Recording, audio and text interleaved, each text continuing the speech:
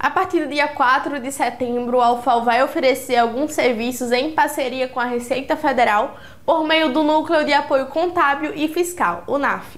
A regularização e abertura de CPF e revisão de declarações da pessoa física são alguns exemplos do que as pessoas interessadas nos serviços poderão ter acesso.